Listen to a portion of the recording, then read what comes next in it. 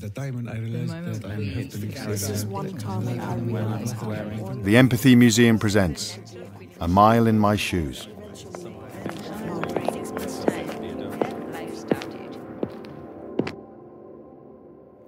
I'm sitting here with an empty shoebox, which belongs to Jeremy Smith. That's because Jeremy wanted to give us his wheelchair instead of his shoes. Jeremy says, What can I say? My wheelchair is me. Hell, it's like looking in a mirror. Suave, but surprisingly rugged. This is Jeremy's story. As I'm telling you this, I can actually feel and smell how it felt to live through this.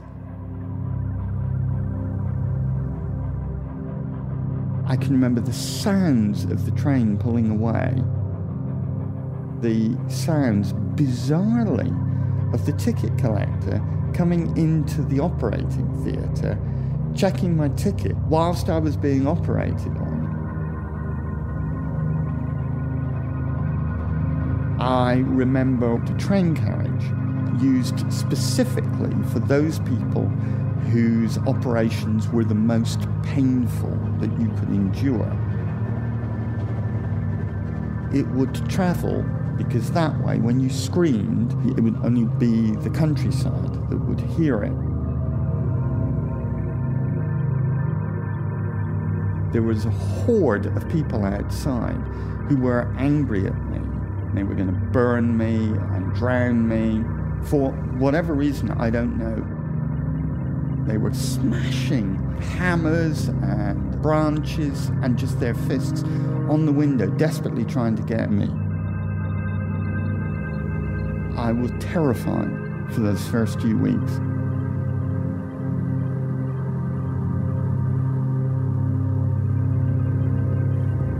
I can remember quite clearly having friends visit me in hospital and me happy to see them, sitting with them, saying, You see that man over there?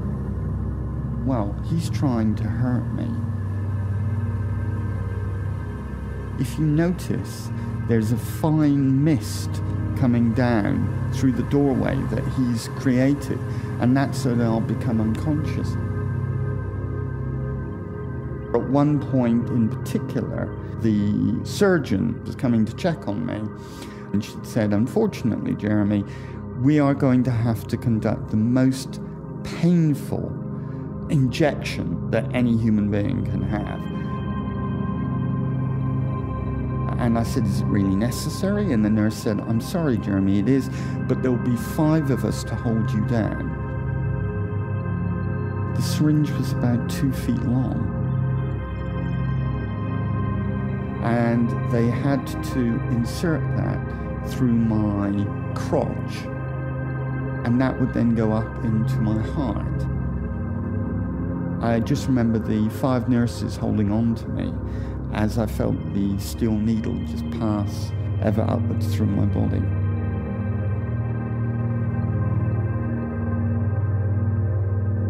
And at that time, I had tubes going down my mouth, tubes going up my nose, I had wires and all sorts coming out of all different parts of my body. And I was so alarmed that I tore all the tubing out and all the wires. Thankfully, I passed out very quickly.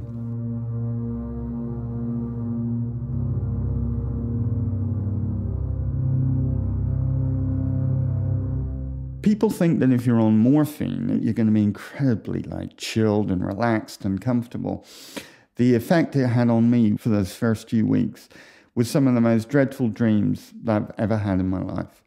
The hallucinations meant I couldn't tell where the dream started or ended. These feelings, these fears, these nightmares lasted, I would have said, for almost three months from the day that I had the accident.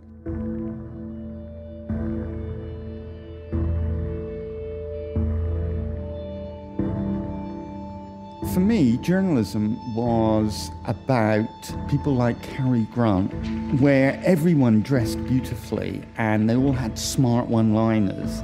I thought, God, that would be so sexy if I could be like that. My big break came when I managed to get a job as a feature writer on Menswear magazine. At that point, back in the 80s, I would go to parties pretty much every evening because the world of fashion is like that. And I could say and write anything so long as I did it with style and wit. I was a 23 year old, and there was copy that I had written, and people were reading it. And then since that point, I've worked all over the country, and I've covered everything from cognac to being a travel editor and a travel writer. And then I came to Oxford, where once again I felt like I was the luckiest person in the world, surrounded by all these stunningly beautiful colleges stuffed full of some of the biggest brains in the world, and I was allowed to mix with them. So I was living in Oxford. I was 52 and basically had the kind of life where you pinch yourself. The day that I actually had my accident is very short in my memory. As a consequence of the fall, my brain has blanked out pretty much everything. All I remember is that on this particular day, I realized I really, really needed to get out of the house. I went down to a local beauty spot, and that is absolutely the last thing that I remember.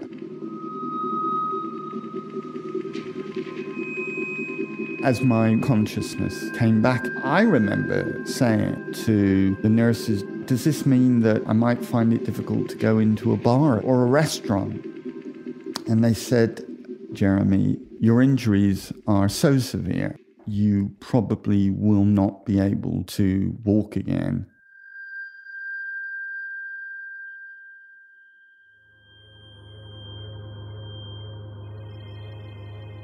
For me, that felt completely meaningless. It had no effect. I remember that for two nights I did cry, but I think I was crying more just because of the situation I was in right then and the pain. I don't think I properly grasped what it meant or what it could possibly mean I think I had in all, in that first two or three weeks, about 10 operations. It was pretty major. And then I went to the world famous spinal unit, Stoke Mandeville. And that was when I then faced this total wall of infinite boredom.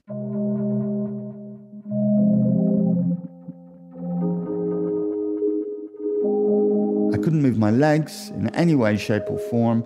My left arm was also completely useless. As I lay there in bed, unable to move, just staring at the ceiling, the hours just ticked by.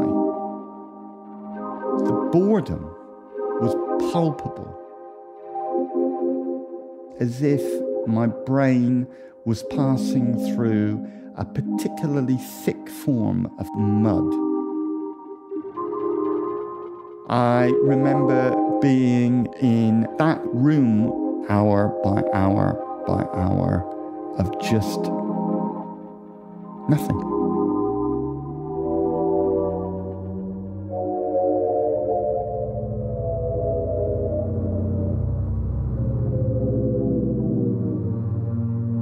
In the corridor outside, it's a quiet hum, but I refuse to have the door shut on my room. Because when that has happened, it felt then that I really was removed completely from the universe. If it's three o'clock in the morning and I can hear the nurses outside attending to a patient who's in distress, I don't mind being woken up because it feels real.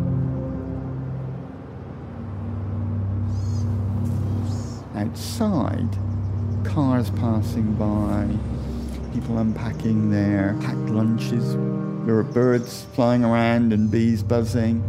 That kind of music of life. In a way, it taunts me. I can smell urine. I can smell antiseptic. That's it. In my legs, I can feel pain. I don't really feel anything else. Lying here in the bed right now, the urge not to just cry continually is just nagging away all the time.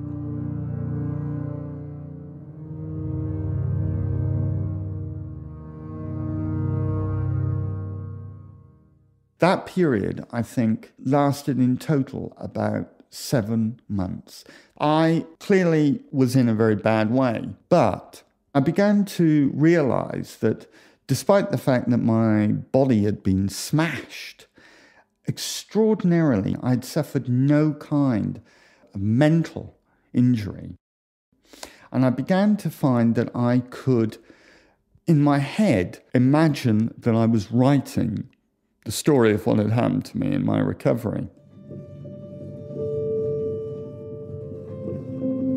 Then the most extraordinary thing began to happen everything that I had known before had changed. Some friends got me a smartphone. Then, on that smartphone, I set up a blog to write and record about my accident and my treatment and then my recovery. I wanted to give the impression that actually going through this process could be intriguing, it could be funny, it could at times be genuinely and utterly life reaffirming. And being able to know that I could write about that and that other people might read that really, really started to push the adrenaline through me. And it gave me, for the first time ever, that glimpse of, do you know what? I actually think I'm going to get through this. I can actually see that by writing about this, as I write it, that I'm beginning to come back to life again and knowing as well that in the future, the way that I saw the world as I began to venture out was going to be an adventure in which the most mundane of everyday minutiae suddenly became a brand new challenge for me. And that challenge was interesting to write about.